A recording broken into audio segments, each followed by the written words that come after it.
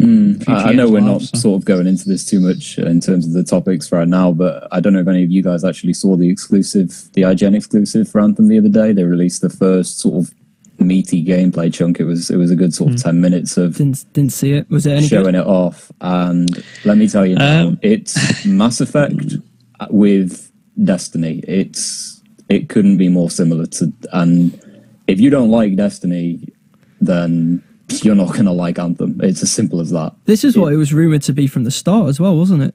Yeah, mean, everything I think is we- screams a, a Destiny and, and Mass Effect hybrid. It's you, you look at the enemies' health bars, shields, the way that you buff and debuff things. It's all the sort of things that you love from Mass Effect or know from Mass Effect, Mhm. put into a an exploration space, which you could easily confuse for Destiny if the game wasn't set in third person. So, yeah. I did also see. I don't know if it was from the IGN gameplay. Or, did they have like the first reveal or something? Is that what it was? The first reveal of some gameplay. Maybe that's what it was. But uh, I did see a lot of people, like industry, you know, people that are in the know, being concerned about the game. You know, in terms of um, maybe it's not as good as we think it's going to be. You know, I mean, like some people, some industry insiders that have you know seen a lot of the game and stuff hands on we're a little bit concerned about you know the longevity of the game and the state the game is going to be in when it launches. So that'll be interesting to see. Yeah, I, I mean, think, they could be honestly, completely wrong, but you, you've just sort of know. set it up perfectly for me. When it launches, they've actually Mm. advertised things like public events, which Yeah. is Destiny, and they've advertised you, you know, not to sort of be able to nail the quest from exactly what it is to what it finishes, but it, in that ten minutes, you actually get to see it, and Yeah. it's essentially what we already have in a different game. And uh, don't get me wrong, it looks okay. It looks like it would be quite fun for a while, but it, it seems to me that it's going to be a bog standard experience that's going to grow old and pretty quickly. It's it will fall if it's as they've released the first ten minutes. Well, not the first ten minutes, but a ten minute snippet. You'd think they'd show off all the great ideas they've had, and what they've basically shown is ten minutes of what Destiny would look like if it was Mass Effect, and that I don't think is going to enthuse too many people. The last three minutes or so of the video is a duo, like a fire team or whatever they're going to call it with the javelins. They're shooting this bullet sponge boss, and the boss is doing the same attacks repeatedly. There's no variety in it, and you just think this is not what they needed to do. This just this is a miss. Like this, if they go down that route, and that's what they're going to show off of being, oh hey look, this is the exclusive first look. What's the rest of the game going to be like? Well, I've got a question for you, Perks. Um, just because you know, Destiny, we know which way that game's gone. We've covered it. You know, like it feels like for a million, A million hours. times. Yeah, on this podcast. And when that game came out, me, you, and Sud played it extensively. Yeah. What we ended up doing after the first week was killing ourselves by jumping off a cliff, respawning, running full pelt into a load of mob of enemies, shooting them, and then looking for legendary engrams on the floor. And if we didn't get any legendary engrams, jumping off a cliff and repeating that while I was listening to Never Gonna Give You Up by Rick Astley on repeat like 5,000 times. That You is my endearing memory. Yeah, that is my endearing memory of Destiny. And I was just sitting there and I almost just put the controller down and looked at my own hands like, what am I doing with my life? and just turned the game off because I couldn't take it anymore. Do you see Anthem going down the same route as that after like two weeks?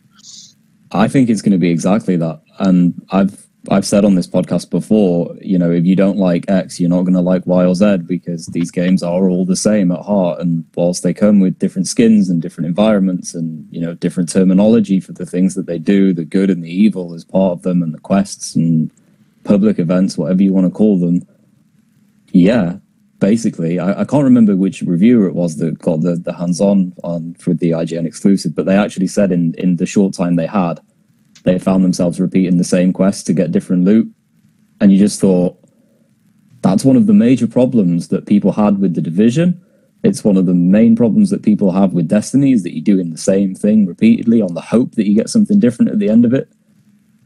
It, it's the same. They've already released that it's the same, and I just think the warning signs have to be so clear for anyone that's expecting anything different. Yeah, I, I know what you're trying to say there. I think, I suppose I, I'll try and play devil's advocate a little bit with it. I think we have to be careful. They've only shown 10 minutes of game. I mean, we've seen gameplay at E3 before that, but they, you know, this first look wasn't sort of two hours of gameplay. It was 10 minutes. So, How do have to worried are you though that in ten minutes they've shown repetition? You think if they're Uh, gonna yeah, if they're gonna show off ten minutes, they have to sell that game to people. This Yeah, is the first. this is the world exclusive first ten minutes chunk that they've shown, maybe, you know, and it's maybe, yeah. repetitive. maybe not the best first 10 minutes to show but you know that uh, well i mean we've we've got to take them at face value in what they say and they've said haven't they that it's going to be a rich narrative experience so i'm going to take them at face value and when i buy the game if it's not a rich narrative experience then you can say they've sold us you know sold us a lie because that is what they clearly said. That that was their you know thing that they tried to say was the thing that was different from sort of the division of destiny was. This was going to be a mass effect type you know space opera story but with the destiny mmo elements which i think that's what most people wanted from the game if i'm not mistaken. I mean Yeah, but Right. they also said Mass Effect Um, Andromeda was going to be a AAA game. We all know that ended up at the start. well i mean we differ on that don't we because well i think us three actually quite enjoyed mass effect andromeda but it was clearly a departure from the first three but Yeah, it had I its think the game problems. got. I think the but game I got. liked I it. think it got. Yeah, I Some of actually the think it animations got a of people's faces looked like they were still in alpha testing. Uh, I don't. Know. Yeah, the graphics were were, were forgiveness for it. subpar. I didn't actually that. experience that many um, glitches or animation bugs, really. To be honest, I, I think I might have got lucky, but my game Well, was I'm, running I'm quite with you smoothly. on that. Yeah, the same thing happened to me, but I don't. You know, we should freely admit that we we saw them all sort Yeah. of not first hand, Oh, but yeah, third hand. I mean, we saw how bad they were. hmm definitely. But I mean, coming back to your point though, said in terms of you know this is what we wanted from Anthem, right? Richer narrative experiences, but also the the good things from previous uh, shared world shooters.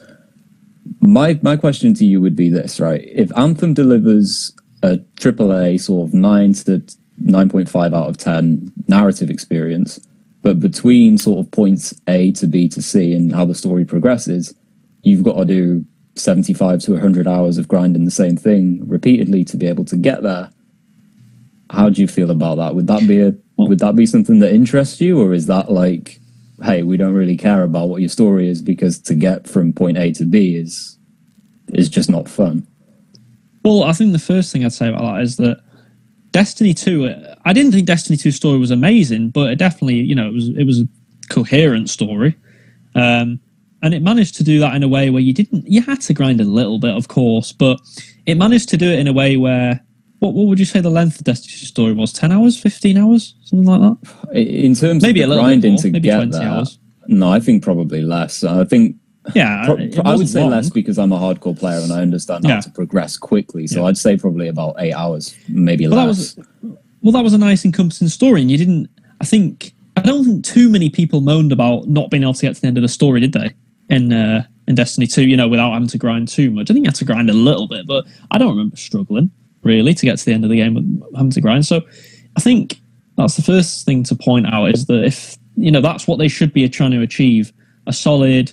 Maybe a little bit longer. They can say twenty-five to as long as it's not oh, as long as it's not like hundred hours to complete the story, which would be totally ridiculous, I think.